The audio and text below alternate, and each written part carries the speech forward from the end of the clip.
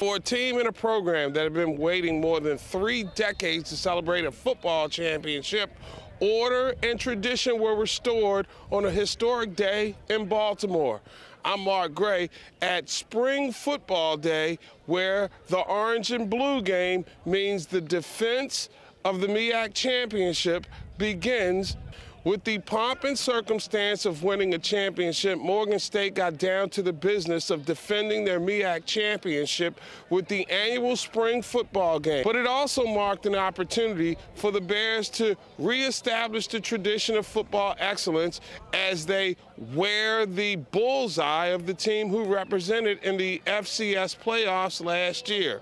Yeah, I think last year we, we built a great foundation, a great, great base, and we just got to keep building on it. We're not going to do anything different than we have, you know, uh, in the past, you know, you know, last year. The whole thing of uh, student success, student athlete success, is at the, that's at the heart of our mission.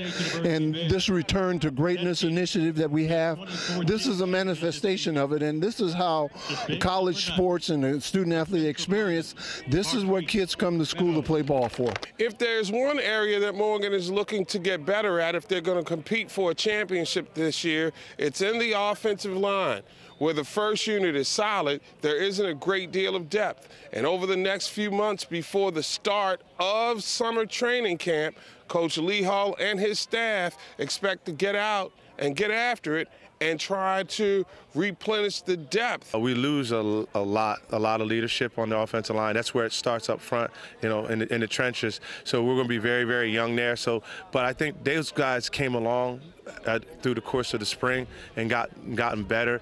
Skill position players figure to be one of the places where Morgan is deepest, and they have a number of different transfers who come in and give them big play capability. Um, running backs are capable of doing the job. You know, everybody knows about Lamont and Lamont Brown and Herb Walker, but um, Orlando Johnson, you know, number one there is, is doing a great job, and right now he's had the best spring out of all the running backs. So for many years, there was hope that sprang eternal here in Baltimore, but hope turned into realization in 2014.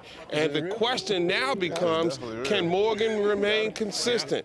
Perhaps not as MEAC champions every year, but certainly as a contender. And the road trip to Baltimore no longer is a vacation. You got to tighten up the chin straps and get ready to get after it each and every time you step on the field against Lee Hull's Bears. Reporting from Morgan State University, I'm Mark Gray for Sports Groove TV.